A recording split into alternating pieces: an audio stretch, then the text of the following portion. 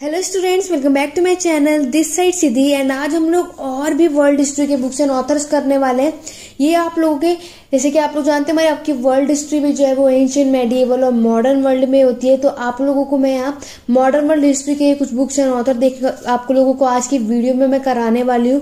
जिस तरीके से आप लोगों के एग्ज़ाम में यहाँ से क्वेश्चन देखने को मिलता है, अब तक हमने बहुत सारे बुक्स एंड ऑथर कर लिए हैं, लेकिन मुझे और जो जो लग रहा है कि आप लोगों को बुक्स एंड ऑथर कर लेने चाहिए जहाँ से भी लग रहा है, मैं पूरी कोशिश कर रही हूँ कि मैं वो सब वीडियोज़ लेकर के आऊँ।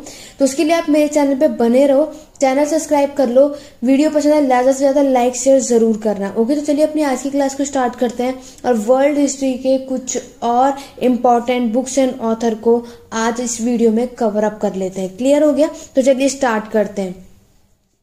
यहाँ पर आप बुक देख रहे हैं तो यहाँ पर सबसे पहली बुक देख रखी है। इस साइड जो आप लोग यहाँ पे देख रहे हैं, जो व्हाइट में लिखा है, वो मैंने लिखा है बुक के नेम है, और यहाँ उनके कौन है? ऑथर्स हैं राइटर्स हैं। क्लियर हो गया? इन सबको कर लेना है। इनसे बेस्ड भी आपको क्वेश्चन देखने को मिल सकता है। पहली बुक यहाँ देख सकते हैं the decline and rise of democracy तो decline and rise of democracy की बुक ये किसने लिखी थी? डेविस टेसेविज ने। डेविस सेवेज ने ये बुक लिखी थी। दूसरी बुक है गन्स जम्स एंड स्टील ये वाली बुक लिखी थी आपकी जेरेड डायमंड ने। द ग्रेट ब्रिज जो ये बुक लिखी थी किसने लिखी थी? डेविड मैकुलो ने। ठीक है? डेविड मैकलॉय ने ग्रेट ब्रिज की बुक लिखी है और the story of American freedom इस ये बुक लिखी थी इरिक फॉनर ने। इसी तरीके से आपको आपके वर्ल्ड हिस्ट्री में बुक्स एंड ऑथर देखने को मिलेंगे।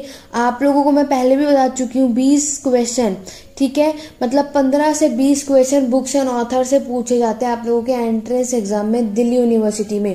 तो इसीलिए बाकी आप डीयू और जेएनयू देखेंगे, वहाँ पे आपसे कुछ मैक्सिमम दो से तीन ही क्वेश्चन आप लोगों के बुक एंड ऑथर से रहते हैं।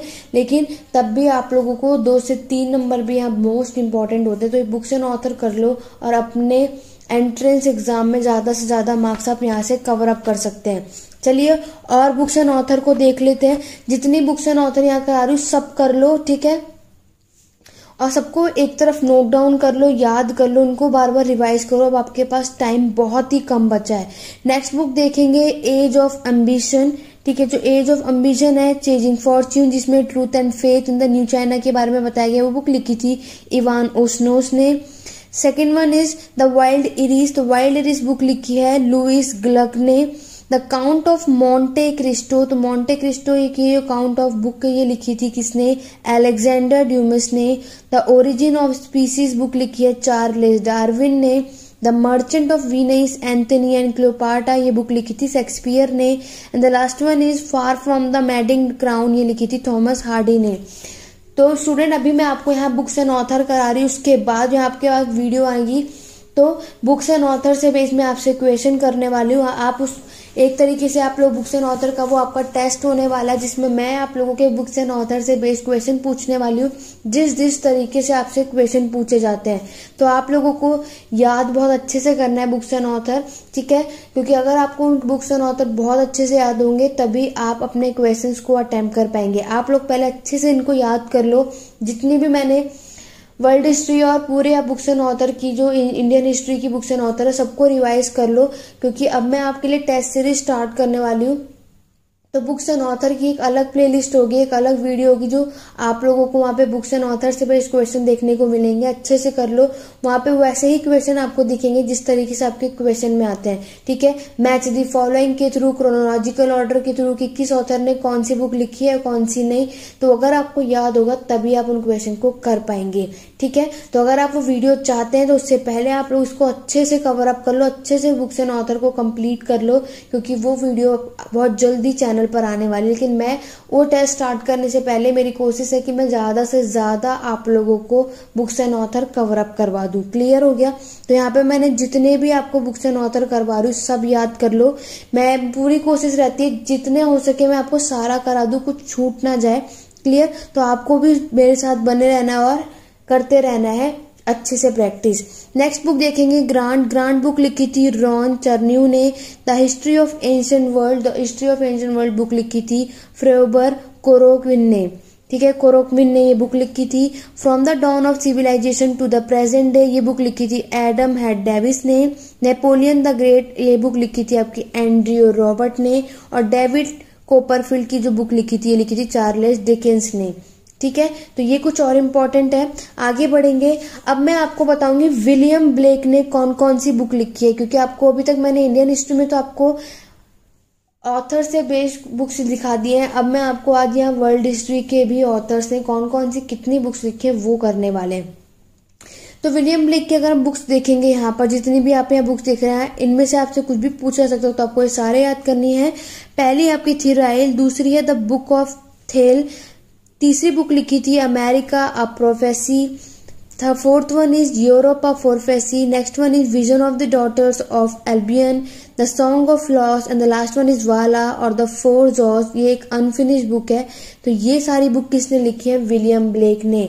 तो ये सारी बुक्स याद होनी चाहिए क्योंकि आपसे क्वेश्चन इस तरीके से पूछा जाता है कि विलियम ब्लेक ने इनमें से कौन सी बुक लिखी है। तो आपके पास यहाँ एक ऑप्शन इनमें से होगा। लाइक एक ऑप्शन में होगा आपका ये वाला vision of the daughters of the Albion है और बाकी के तीन में कुछ और ऑप्शन होगा। तो अगर आपको बुक्स याद होंगी, तभी आप उन क्वेश्चन को अटेम्प्ट कर पाएँगे। क्लियर हो गया? आगे बढ़ेंगे, कुछ और क्वेश्चंस और ऑथर को देख लेते हैं। नेक्स्ट बुक है आपकी एडवेंचर ऑफ़ सरलक होम ये बुक लिखी थी आर्थोन कोनान डॉयली ने। मैन खाम की बुक लिखी थी अडोल्फ हिटलर ने। ली कॉन्ट्रैक्ट सोशल बुक लिखी थी जीन जैकवेस रूस ने। एनिमल फार्म की बुक लिखी थी जॉर्ज ऑरवल ने, एना करीना की बुक लिखी थी लियो टॉल्स्टॉय ने और बैन हुर की बुक लिखी थी लिविस वॉलेस ने, ठीक है? तो ये सारे इंपॉर्टेंट ऑथर्स हैं आप लोगों के वर्ल्ड हिस्ट्री के, ठीक है? तो अभी मैंने आपको इतने सारे करा दिए, आप लोगों ने देखा बहुत सारे अब तक हो चुके हैं वर्ल्ड हिस्ट्री के बुक्स एंड ऑथर भी और इंडियन हिस्ट्री के भी। अब आपका काम है उसको अच्छे से याद कर लेना। अगर हम नेक्स्ट हिस्टोरियन की बात करेंगे, जो बुक थी एरिक हॉप्सबैन ने तो एरिक हॉप्सन ने कौन कौन सी बुक लिखी है? The age of capital Captain Swing revolutionary the age of extremes the jazz scene industrial empire on the edge of the new century the labouring men तो इन्होंने ये सारी बुक्स लिखी हैं। अभी मैं आप लोगों को सिर्फ़ यही दोनों स्टोरियंस के बारे में करा रही हूँ। अगर आपके व्यूज़ और रिस्पॉन्स वीडियो पे अच्छा रहा तो मैं अगर आप लोग चाहेंगे तो ही मैं आगे ऐसे वर्ल्ड हिस्ट्री के जो ऑथर्स हैं, उन पर सिंगल सिंगल ऐसे जैसे कि किस हिस्टोरियन ने कितनी सारी बुक्स लिखी हैं, वो सब कुछ कराऊँगी। अगर आपका रिस्पांस अच्छा रहा तो। अगर आप चाहते हैं ऐसी वीडियो लेकर आऊँ तो कमेंट करके ज़रूर बताना। अदरवाइज़ बहुत सारे बुक्स एंड ऑथर ऑलरेडी हो गए हैं। अगर आप लोगों ने उसको अच्छे से कर लो, क्योंकि आगे जो टेस्ट सीरीज़ आने वाली है वो बहुत अच्छा और आपको उससे पता चल जाएगा, आपको एंट्रेंस एग्ज़ाम आप क्लियर कर पाएँगे या नहीं, तैयारी आप लोगों की अच्छी चल रही है या नहीं। क्लियर हो गया? तो आज की क्लास में बस इतना ही। वीडियो पसंद आए तो लाइक करो शेयर करो। चैनल सब्सक्राइब कर लो अगर चैनल पर नए हो तो। बेल आइकन ज़रूर प्रेस करना ताकि नेक्स्ट वीडियो जब भी अपलोड हो, अब जो टेस्ट सीरीज़ होने वाली है उसके लिए चैनल पर जुड़ जाओ। ज़्यादा से ज़्यादा शेयर करो, अपने फ्रेंड्स में भी शेयर करो ये वीडियो ठीक है? चैनल ज़रूर सब्सक्राइब करना। अच्छी क्लास कैसी रही कमेंट करके ज़रूर बताना। पूरी कोशिश किया करो स्टूडेंट अब एंट्री एग्ज़ाम पास में है। डेली आपको रात के 10 बजे चैनल पर जुड़ जाना है। वीडियो जब भी अपलोड होती है, रात के 10 बजे अपलोड होती है, आपको वहीं पे क्लास लेना है लाइव ताकि आपके कोई भी डाउट हो, आप मुझसे वहीं पूछ सकते हैं। क्वेश्चन अटेंड करो प्रैक्टिस करो मॉक टेस्ट करो। जो टेस्ट स्टार्ट करने वाली उन सबको अटेम्प्ट करो। अपने एंट्रेंस एग्ज़ाम क्लियर करना है तो। ओके आई होप आपको आज की वीडियो बहुत हेल्पफुल रहेगी। अच्छे से बुक्स एंड ऑथर आप लोग कर लो, अच्छे से नोट्स बना लो। अपने आप नोट्स बनाओगे, लिखोगे। स्टूडेंट पीडीएफ अगर आप लोग लोगे तो आप लोगों को ये सब याद नहीं होने वाला है। उससे बेटर है, अब आपके पास मुश्किल से बहुत ही कम टाइम बचा है। ठीक है? तो आप कोशिश करो अपने कि आप खुद ही लिख करके करो। अगर आप लिख कर अगर एक बार इसको कर लोगे तो आपको याद रहेगा, क्योंकि बुक्स एंड ऑथर याद करना इजी नहीं होता है। तो बेटर है उसको याद करो, रोज रिवाइज करो। अगर आप लोगों ने बुक्स एंड ऑथर बहुत अच्छा कर लिया तो 20 नंबर आप लोगों के 20 क्वेश्चन सही हो जाएँगे। जिसमें से आपके 80 नंबर आप लोगों को ऐसे ही मिल जाएँगे अगर आप लोगों ने बुक्स एंड ऑथर अच्छे से याद कर लिए। ओके तो आज की क्लास में बस इतना ही। Thank you for watching Telegram channel join करना है. लिंक डिस्क्रिप्शन में है. बाकी सब कुछ आपको प्लेलिस्ट में वीडियोस मिल जाएँगी. उन सबको जाके करो रिवाइज करो. ओके तो आज की क्लास में बस इतना ही.